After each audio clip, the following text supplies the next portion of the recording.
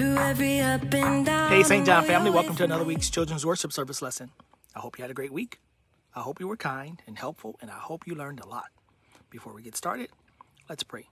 Dear God, we thank you for this time that we have to study your word. God, we want to be worshipers. We want to learn to what it is to worship you, God. So, removing the distractions right now as we prepare to receive this lesson.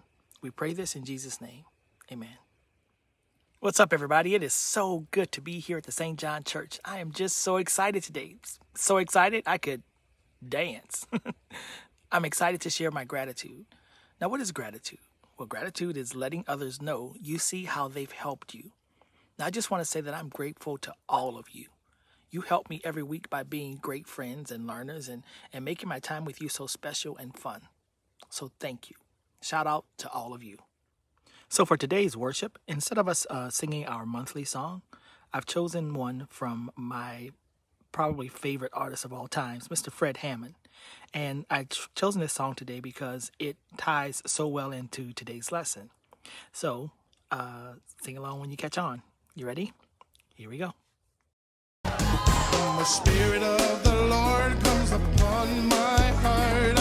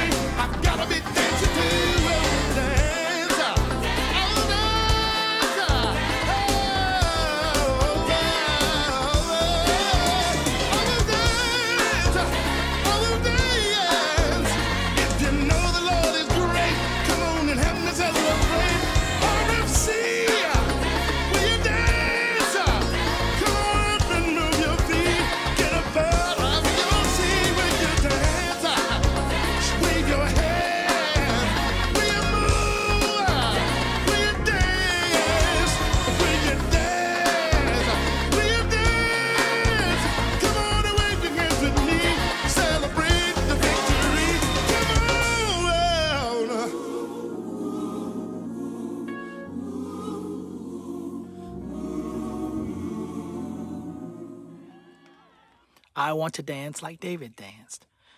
Listen to David's words from Psalm 86 and 11. Lord, teach me how you want me to live. Do this so I will depend on you, my faithful God. Give me a heart that doesn't want anything more than to worship you. Now, our relationship with God is the most important thing in our lives. We can depend on God. We can trust and believe that God is faithful. Let's head over to our lesson.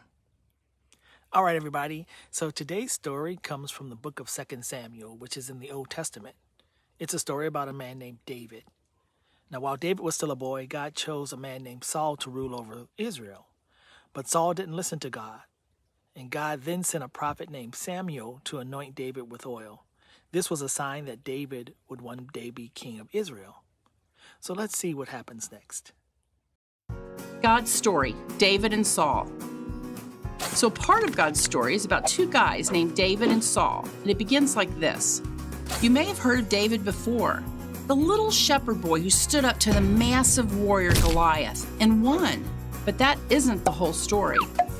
In fact, that's really only a part of it. The rest of the story starts with a man named Saul. See, God wasn't very happy with Saul, Israel's first king.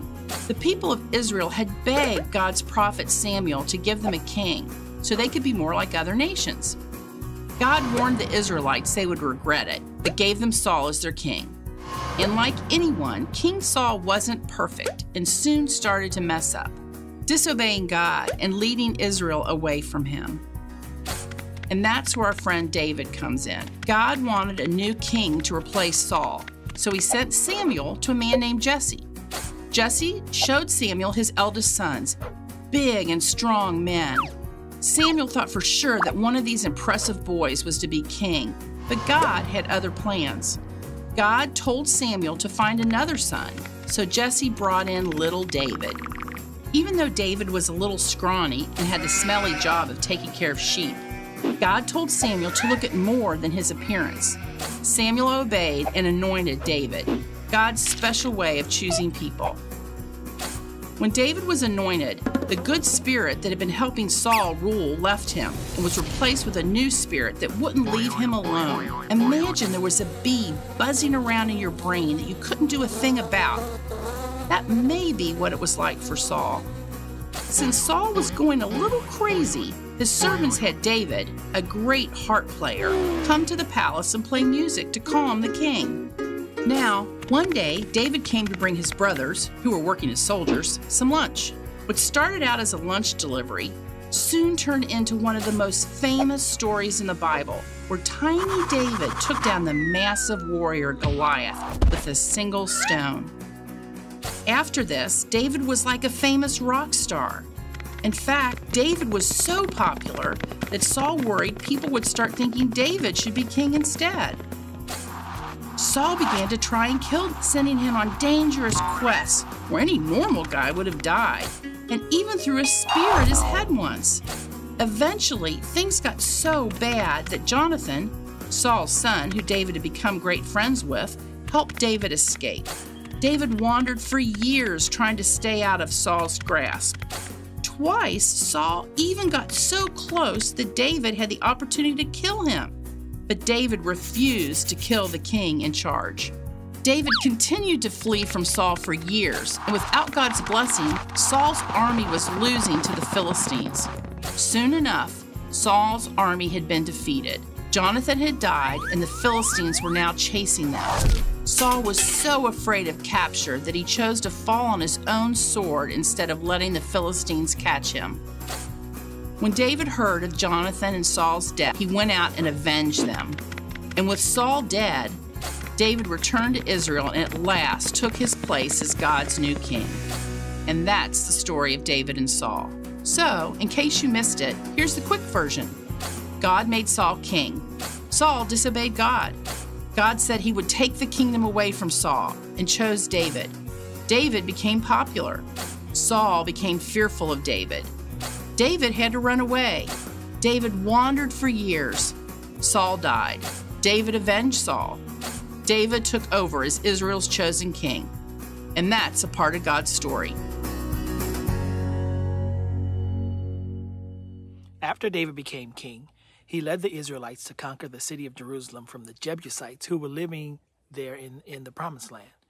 Now, David led the Israelites to completely rebuild the city, but something was missing. It was the Ark of the Covenant. Now, when I say ark, I don't mean like like a boat like Noah's Ark. The Ark of the Covenant was a beautiful gold covered chest and it held the tablets of the Ten Commandments that God had given to Moses. God dwelled among the people at the Ark. The Ark was incredibly important to them, it was very special. And it wasn't in Israel at that time. See, at that time, the Ark was being held at the house of a man named Obed Edom. And he had in his possession the most precious thing to all of Israel God's home among the people. And God blessed him. He blessed him greatly while he had the ark at his house. David decided that he wanted to bring the ark back to where it belonged, near him in Jerusalem. So, watch what happens next. A long time ago, there was a box called the Ark of the Covenant. It was a holy box that contained items that reminded people of God's faithfulness to them. God's power surrounded this box. Moving it from one place to another required extreme care. King David decided to move the ark to Jerusalem so that he could keep it safe. He gathered 30,000 of Israel's best men to move it. They loaded the ark on a cart and pushed it all the way to Jerusalem.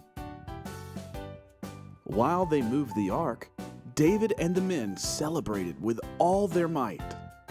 As they traveled, they made a joyful noise to the Lord with all kinds of noisemakers.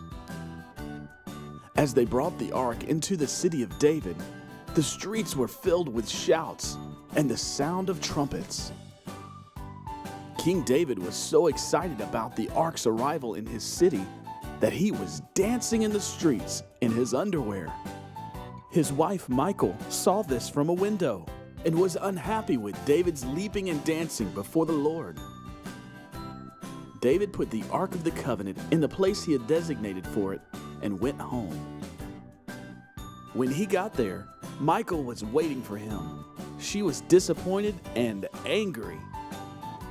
She told David that the king of Israel should know better than to dance around in the streets in his underwear.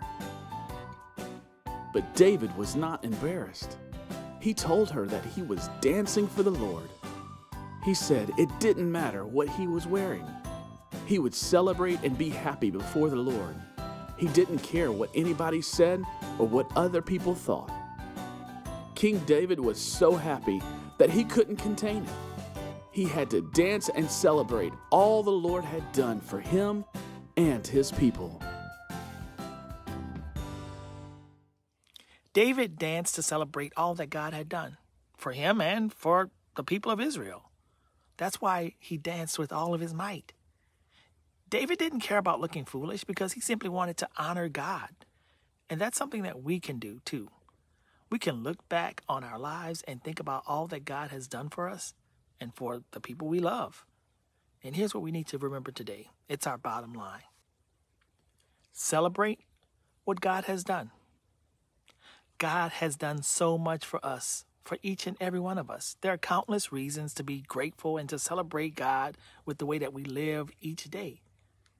So let's pray and thank God for that right now. Dear God, thank you for everything you have done for us. You are a good God. You are faithful and, and kind. You are a good father and, and friend. We are so thankful that we can trust you no matter what. Help us remember to celebrate you and share the love you've shown us with the way that we treat people in our lives. We love you and we pray these things in Jesus' name. Amen. David saw what God had done for him and all the people in Israel, and he did something about it. He worshiped and celebrated God fully, he didn't hold back. We can celebrate God each day with our words and with our actions. Remember that bottom line. Celebrate what God has done.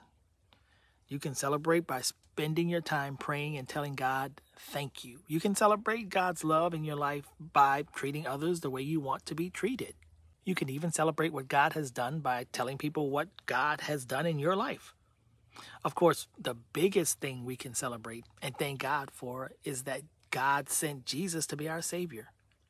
Because of Jesus, we can have a relationship with God that will last forever. That's such good news, and it's worth every dance move in the world. Before we head off to our small groups, let's take a second to say our memory verse together. This is from Psalm 136 and 1. Give thanks to the Lord because he is good. His faithful love continues forever. Good job. And it's true. God is always faithful and always good. So I want you to think about that as we dismiss. So thank you for joining me this week. And my prayer is that you remember or take the time to celebrate what God has done because he's so good. So until I see you next time, may God bless you and your family. Take care. Through every up and down, I know you're with me. Through thick and thin, I